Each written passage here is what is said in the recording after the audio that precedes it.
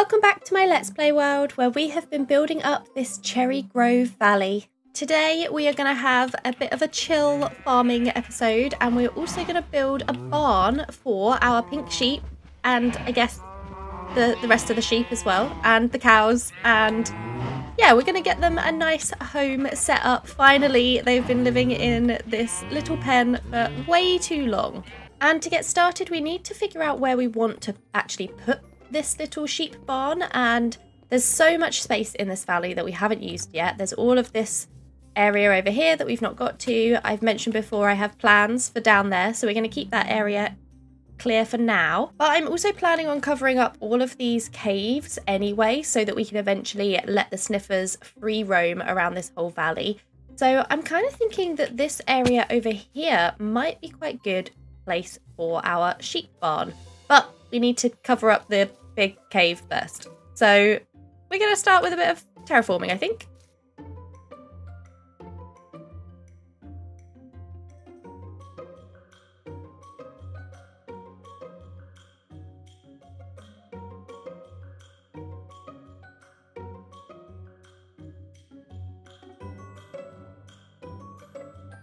I think this is going to be the perfect place for us to build our little animal barn. Now we just have to figure out a layout for this and I'm going to go with a kind of similar style to the sniffer barn over there. So I want to make sure that this is big enough for all of the animals that we have. And I've also seen a whole bunch of rabbits around in the cherry blossom area, so we might even try and get some rabbits into this area. Maybe they can fit in the barn with the other animals. I would love to try and collect some of the rabbits up as well from this area. I can't see any now. There's def they're definitely everywhere, and they're just... Now they're just hiding. And I want to keep it quite simple. We're going with the same colour palette that we have on the sniffer barn over there. Just lots of wood and some moss for the roof.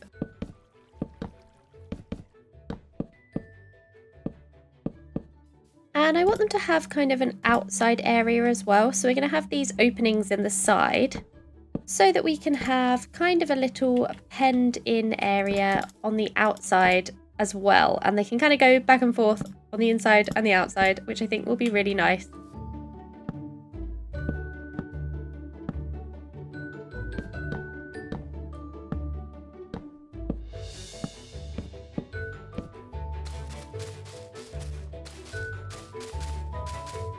So there's our basic shape. That's definitely looking good, definitely looking barney, and it's very much big enough for all of our animals. We've got two sides going on here, but it definitely just needs a lot more detailing.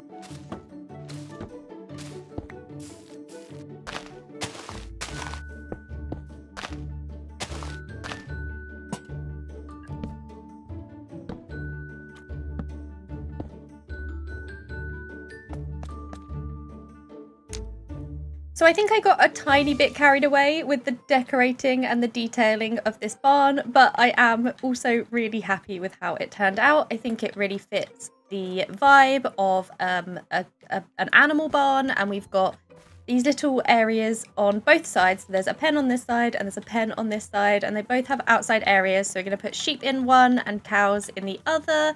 They've got some windows, they've got some water, they've got some hay. It's just all really cozy in here and even like detailed the ceiling. I definitely just went way overboard with this, but it looks really good, I think, and I'm very happy with it. And the outside looks cute as well. And I've started putting the path in, but I need to finish connecting up that path as well and fixing the creeper holes that we have going on here. But let's bring the animals over first and finally get them into some much more spacious enclosures than these tiny little box enclosures that they're in up here right now. Would you like to come to your brand new home? I'm sure that you would love that. And here we go. Here's your brand new home. Follow me inside. Oh, there's so much space for them in here. These enclosures are actually way bigger than I thought they were. And we can start breeding you up, get some more sheep babies. Another pink sheep. No, you stay in there. Oh, oh wait. No, no, no, I didn't think about that. Okay, uh, my bad. Um, I forgot. I forgot that that was a thing. Come over here. Come on. Come back in. We'll just move it over. It's fine. Oh, I've just got rid of... Where's my... Have I got my bucket? Yeah, I've got a bucket. Okay. Before we bring the cows over, let's move this one so that they can't escape. There we go. Okay, time to come with me. There's... Oh, there's quite a lot of you, isn't there? Oh no, we seem to have lost a few cows on the way over here. That's, uh... What a shame. I wonder what could have... Where they could have gone. In you come to your new enclosure. And we have all of our animals moved over into their new homes. Take a look from up on the tree. Yeah, look, they look so cute in their little homes. We haven't got any space for the rabbits, so I might, maybe I'll find somewhere else for the rabbits to go. I was thinking they might fit in here as well, but it doesn't look like they will. Now, I do want to finish off the paths that are joining everything together, but we're running really very low on rooted dirt. We only have 16 left, so I think what we're going to do is go on a bit of an adventure to go find a lush cave. I'm actually going to head back over to the desert area. It's probably not the closest lush cave, but I know that there are just dozens of azalea trees throughout the desert because you can see them because there's no other trees. There's a bunny rabbit. There's where you've gone. I just realised that I forgot to bring a shovel, which is kind of like the entire point of going because we want to get rooted dirt. But I've just found three bits of raw iron, so we will quickly smelt up uh, some iron and just make a shovel here because I don't want to go all the way home. Mining and crafting, resourcefulness. This is what Minecraft is all about. Making a shovel out of random iron that you found because you left your shovel at home and you don't want to have to go all the way home because you're on an adventure. I'm getting quite familiar with this back and forth journey to the desert now because I've done it a bunch of times. Like we went to get more sand, we went to explore and find sniffer eggs, it's kind of just this huge ocean that goes from sort of close to our base, not close enough for a chest boat before anyone says, use a chest boat, because my base is not near the water, so chest boats are not actually helpful. But it goes almost to my base, and then it goes all the way across to the desert, and it's actually really easy to just boat our way across in the rain, peaceful journey across the water. Oh, I forgot there was also a mesa over here. I'm going to grab some more terracotta, actually, because we're totally out of white terracotta as well.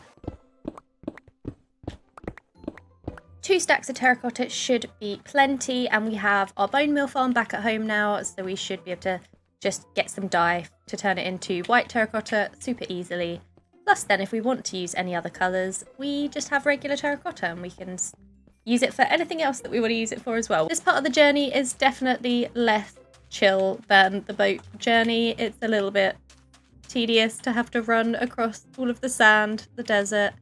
Maybe we should think about getting some elytra soon. Go fight the dragon and head out to the end and see if we can grab ourselves an elytra. Definitely coming up. Let me know what you think in the comments. Do you want me to go and fight the dragon? Or are you enjoying the nice chill pace that we're taking it at so far? Here it is. The holy grail of azalea trees. They are everywhere. I don't know that I figured out how far, how like wide these azalea areas cover because they always seem to spread out so kind of far in each direction. I think it's about three blocks in each direction from the tree. Does rooted dirt not go through sandstone? That thing? Oh, maybe you don't get rooted dirt in sandstone at all. That's very upsetting. Oh, Oh, no, no, no, no, no, no, no, no. No, no, no, no, no, no. Oh. Oh my goodness. Okay, so I guess we hit a cave. Well, that's not fun. Let me make... Oh. Oh, are you kidding me? We're just like in a ravine. We could... Oh my goodness. we could have just... Oh, okay. Okay. We're, we're, we're just... We need to collect rooted dirt. It's fine. That's what we're here for. Oh, there's another creeper. No, go away. Maybe we'll go in this cave. I could do with collecting up some drip leaves, to be honest. And maybe some spore blossoms if we can find them. Because we have a moss farm now, which is really good. So we can get moss and everything else that... No! No! Creeper! Oh my goodness! We can get moss and everything else that comes out of bone mealing moss. So all the like azaleas and um, moss carpet and all of those things, but we can't get drip leaf and we can't get spore blossoms. Oh my gosh, there's so many creepers! Is this a good idea? This might be a really terrible idea. I'm just running around trying to light it up. This is a huge cave. Look at those really tall drip leaves. What are they doing? Why are they growing like that? Uh, and now the spiders are coming. Look at them. like a whole trail of them. Oh, are they getting stuck on something? That's a terrible shame. Oh my goodness, look at this cave! So I have two stacks of rooted dirt now as well, which I think is probably plenty for what we need. Um, we There's still loads left, but we can just definitely come back here. Now I think I'm going to get some of the dripstone from out here in the daylight so that we don't have to risk the mob. Oh no, I didn't bring my shears with me. Wait, there's iron there. Let's do some more crafting on the go. This is good, this is good. Find ourselves... Oh, there's some small drip leaf. Yep, got it. We got it. We got some small drip leaf. If we want any more than three small drip leaf, we are going to have to go back to the cave. And if we want any spore blossoms, which I would quite like some spore blossoms too. I think it's time we have to brave the cave. My question is, how do we get down there? I don't even know how well this is gonna you're gonna be able to see this, but this is a huge lush cave. We could just do this. We definitely we could just we could just head down there like this, right? Oh, we're doing it. Let's just go. Ah! Oh, get me some torches down. Oh no, there's a. Oh no, there's. That was a terrible idea. This was a terrible idea. Why did I do this? Who? Who did I? Whose idea was this? It was. Yeah, it was my idea. I know. Ah, creepers. Ah! Jump! Jump! Jump! Okay. Oh, no, no, the creepers are coming. The creepers are coming. I don't know where I am or what I'm doing. This, oh, oh, oh no. Oh, oh my goodness. Oh my goodness. Oh my goodness. Oh my goodness. This was just an all-round terrible idea. Just, I just have to keep moving. This is a good little place to, to, to, to breathe. Um, oh my gosh. Oh, there's a lot of Endermen in here as well. I almost just looked at one of them. There are so many Endermen. Why are there so many Endermen down here? So there's my boat. Being guarded by a creeper.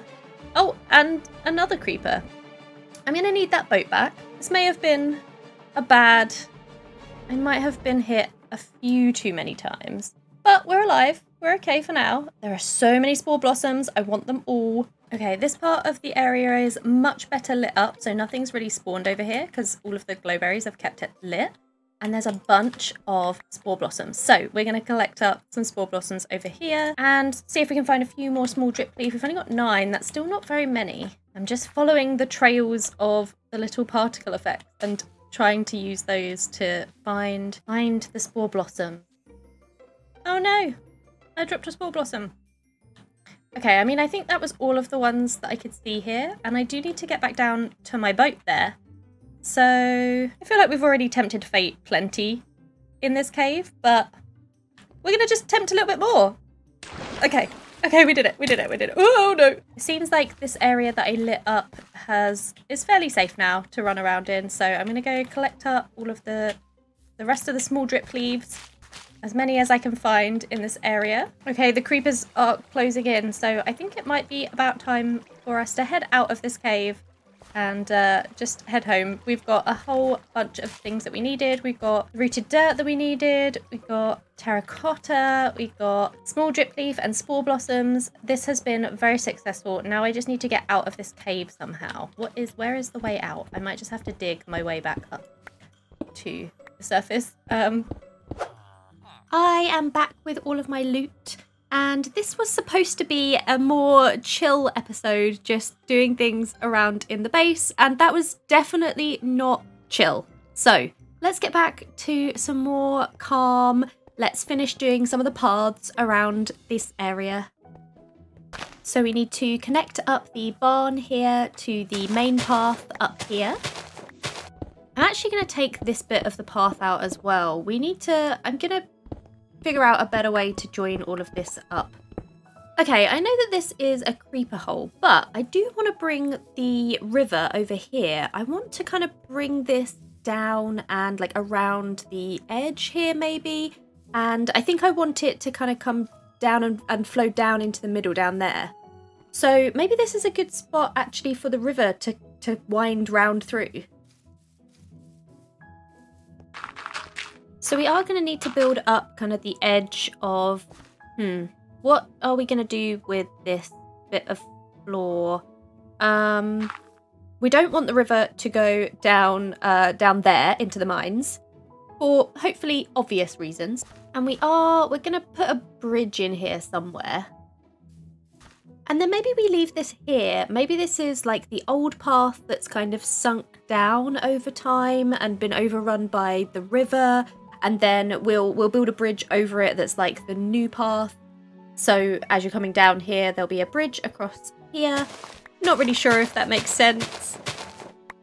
And then it's going to come down here and it's going to fall down into this part of the valley over here, which I think is kind of the lowest point of the valley. So it sort of makes sense for all of the rivers, all of these rivers coming down from the mountains, which are really cool, by the way. They look awesome. But I think it makes sense for them to all come down to the middle here.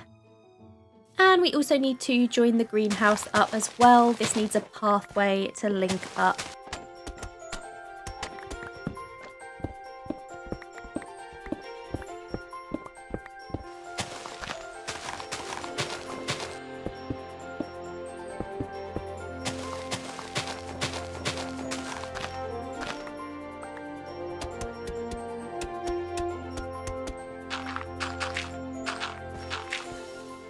done any texturing yet because I'm just trying to figure out if this is the right sort of layout for these paths, but I think that this is working. We've got this kind of like circle square area here, and then the main path is coming down here and into this middle area, and then it will eventually go off in this direction towards where the big structure is going to go down there. And then we have these other, like all of the newer buildings that have been added to the valley have these newer, slightly more natural paths that are coming off of the main path. I'm mostly just trying to decide if this is like a big enough size for a, a, central square sort of like plaza area, I guess. And maybe we'll put like a pagoda here. And we also need to get some texturing in here as well. And of course the rooted dirt that we went on such a long journey for.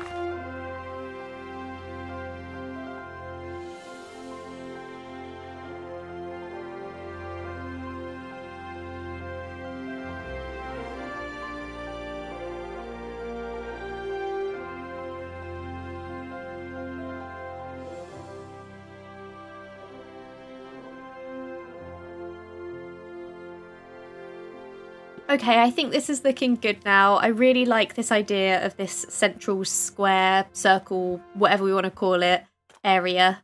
And I definitely think a pagoda will be good here as well, as well as some proper bridges. These are just temporary, but I need to have a proper, like, think about how I want these to look. I haven't really thought about it yet. I need to kind of plan this a bit better so that we don't just, like, mess it up with something. Okay, getting a more bird's eye view from up on the hillside here, and I think this is looking really nice now. I really like how everything is kind of coming in together. I love the river. I think the, the colour of the water in the Cherry Grove is just, it's so pretty, and I think it, like it stands out so nicely against the pink. And I also just really love how all of the paths kind of come in together into this like middle section here. I think that, yeah, I'm really happy with how this is all turning out. This does definitely all still need lighting up though. Um, I will, at some point, I will go around with my moss carpet and my torches and I will light up all of that area. But I, I'll probably do it off camera because that's probably a bit boring for you guys to watch. The other thing that I want to build is I want to put some crop fields back in. We had starter farms here that I took out because I was planning to build here, but I actually just think that this might be a really good place to put um, some crop fields back in. Just like frame them out here. And I saw this idea of using leaves to make walls and I think it looks really cute for like a farm area. So we're going to use the leaves to sort of like line the edges of the crop area.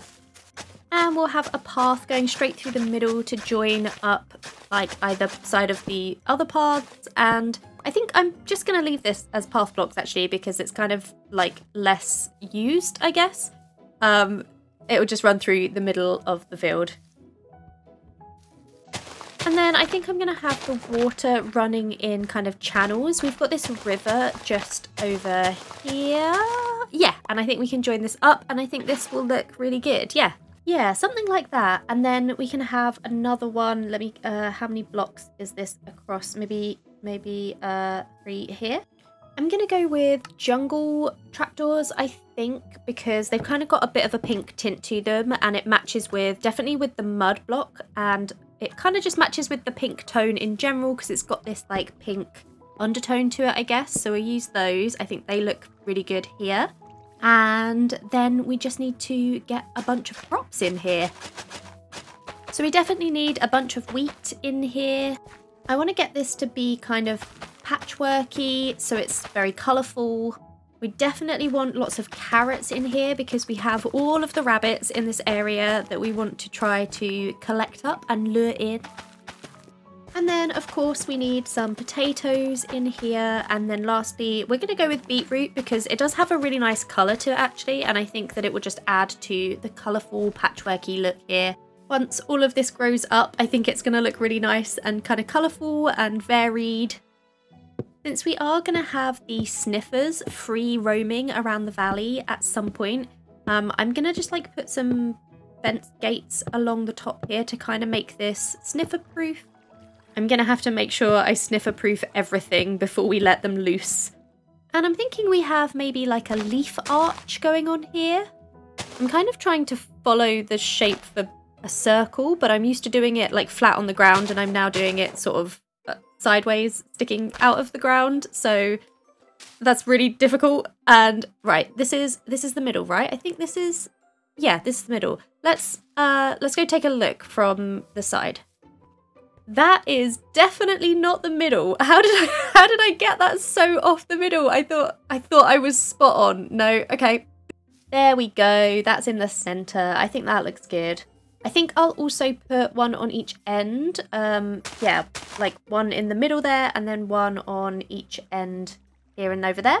And this one is so much easier to to build again because I can just follow across for where that one is. It's like a pattern. I think we should join these up along in the middle as well, just to kind of give this a bit more support, a bit more structure. It doesn't look like it's going to just blow over at any minute, which it kind of does. And a little bit of lighting. We definitely want this crop field to be mob proofed. And there we go, there is our crop field. Uh, I think it looks really cute. I'm super happy with how that turned out. I kind of had a bit of an idea and I just sort of like went with it and started building and I, I really like how leaves look as part of like a fence. I think that it helps kind of blend this in and feel really natural and sort of like a part of the environment and fits. I might do some more of these actually around further down in the valley maybe. I'm sure there'll be some space. I think a few more of these sort of dotted around in here will look really good. And we should definitely grab some bone meal and just kind of go round on the edges and make this feel like it blends in more with the surroundings. I wish I I wish that the bone meal in the cherry grove gave us more flowers. Like oh that one gave us flowers. But like okay, that one. That one didn't give us any flowers. I, I wish that it gave us more flowers when we bone mealed because it doesn't seem like enough. Give me flowers, please. There we go. I do also need to finish up this bit of the pathway that leads all the way up to the entrance of the valley up here. So this here, this is the this is the only entrance into the valley actually between kind of the mountains. So we're going to have a wall here, like a gatehouse here, and the pathway will come all the way up. And okay, I'm getting carried away building this path. Um, it doesn't need to go any further than this for now, but I kind of want to put a marker in for where the wall is going to go. I like I know where I think I want it, but I think getting a marker in will be good.